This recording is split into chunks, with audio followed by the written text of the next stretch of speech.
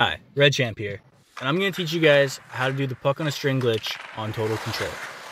So, for starters, you're going to want to hit R1 slash RB and hold it, then tap L1 and do a Michigan with triangle, otherwise you won't be able to perform it.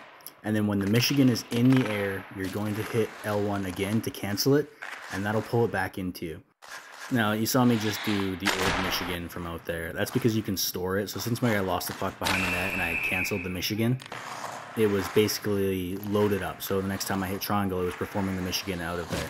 But as you can see in this clip right here, if you do everything too quickly and come in, hold R1, tap L1, and then triangle, you can break your guy and be stuck like this. And game breaking bug because if you were just to hold the saucer pass button, decide you want to cancel your pass, and then go into a Michigan, you're screwed.